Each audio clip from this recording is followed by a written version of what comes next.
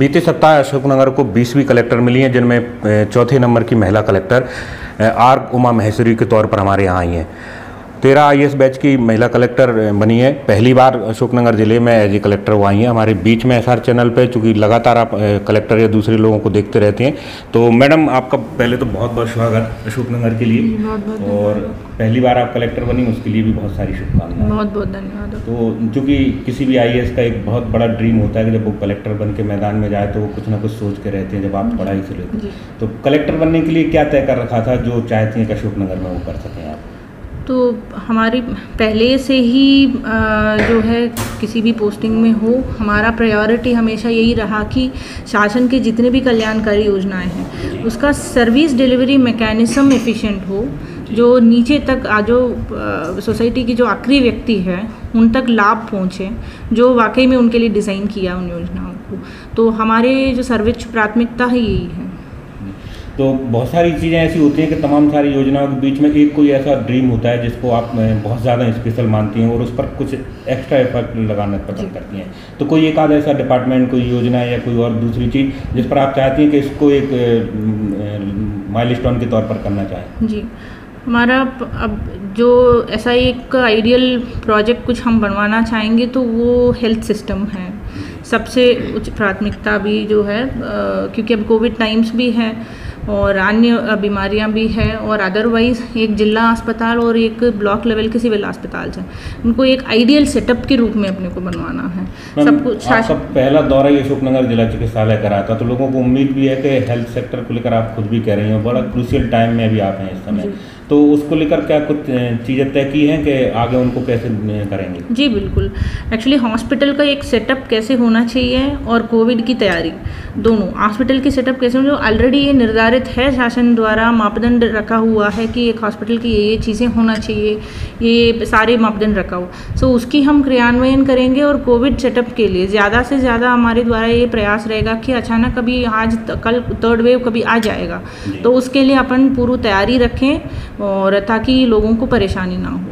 Ma'am एक बड़ा अच्छा दृश्य हमने आपको देखा था जब आप पहली बार अस्पताल पहुँची थी एक डेढ़ साल की बच्ची के लिए ब्लड डोनेट किया था। एक बड़ा मैसेज था वो उस तरह से देने के लिए। तो एज ए कलेक्टर क्या इस तरह की चीज़ों को और आगे हम देख सकते हैं? बिल्कुल आप देख सकते हैं मैं रेगुलरली डोनेट हम करते ही हैं। तो उस दिन जब निरीक्षण किया वो एक बच्ची की वो हमारी संज्ञान में आया था कि ज़रूरत है तो तुरंत हमको लगा कि मैं वॉल्टियरली मैंने डोनेट किया ब्लड पूर्व में भी इस तरह की ब्लड डोनेशन आप करती रही हैं? जी जी कई बार किया। मैम जब आप कलेक्टर बनी तो अशोकनगर जिला बीते एक महीने से बाढ़ और अति वर्षा से परेशान था। बहुत बड़ा काम है। बीच बीच में कई सारी दिक्कत रही सर्वे की परेशानियाँ भी रहीं हड़ताल भी रहीं। तो इस चीज़ को दोबारा से पटरी पर ला पाना एक कठिन टास्क है। तो इसको लेकर भी आपने शायद शुरुआत में कुछ चीज़ें की हैं?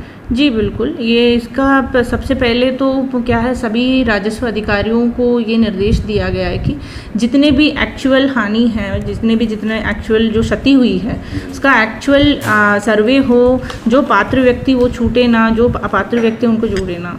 सो यदि कोई भी व्यक्ति वाकई में पीड़ित है उनको ज़रूर लाभ पहुँचना चाहिए उसको लेकर के वो आ, सतत निगरानी किया जा रहा है। मैम अशोकनगर ज़िले की हमारी सबसे बड़ी पहचान चंदेरी और उसकी साड़ी उद्योग है।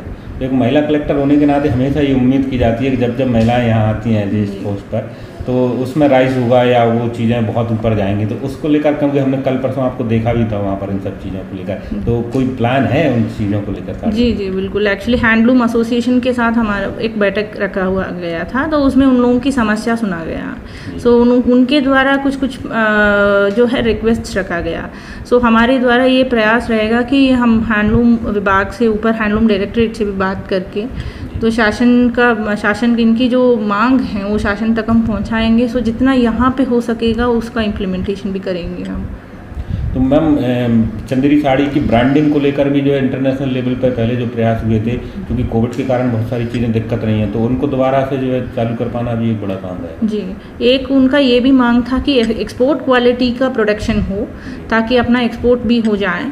और सो इसके लिए एक्सपोर्ट क्वालिटी के एक अलग एक्सपर्ट्स रहते हैं। सो उनको कहना है कि इसका एक ट्रेनिंग हो एक ट्रेनिंग सेशन हो ताकि इन साड़ीज़ जो ऑलरेडी बन रहा है बहुत खूबसूरत साड़ीज़ बनती है। सो so, इसकी लेकिन एक्सपोर्ट क्वालिटी में कैसे कंट्रोल इसको कन्वर्ट कर सकते हैं इसके बारे में हम अभी प्रयास करेंगे।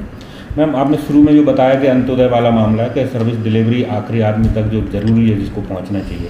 तो इस समय प्रदेश में एक बड़ा मूवमेंट चल रहा है उन अन्न उत्सव को लेकर। जिन शुरुआती चीज़ों में आप जुड़ी हैं उसमें ये भी रहा है। तो अभी तक जो आपने देखा है वो किस तरह का रहा और उसमें और क्या आप देख रही हैं जो आगे बढ़ाया जा सकता है? तो अभी तक अपने ज़िले में लगभग एक लाख पच्चीस हज़ार लोगों कार्डदारी हैं जी। टोटल। सो उनका अभी इस महीने का आप देखा जाए तो लगभग 80 परसेंट का 75 से 80 परसेंट की वितरण हो चुका है।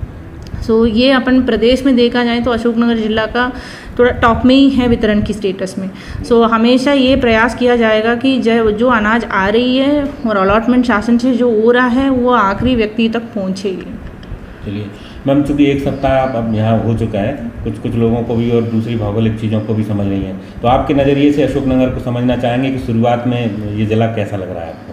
जी जी बहुत अच्छा लग रहा है और हमारा फीडबैक भी बहुत अच्छा है। अशोकनगर का हम उसके भ्रमण करके भी देखा है तो बहुत अच्छा लग रहा है। चलिए तो आपको आगरे के लिए बहुत शुभकामनाएँ और उम्मीद करेंगे कि एक अच्छा कार्यकाल आप अशोकनगर से लेकर जाए।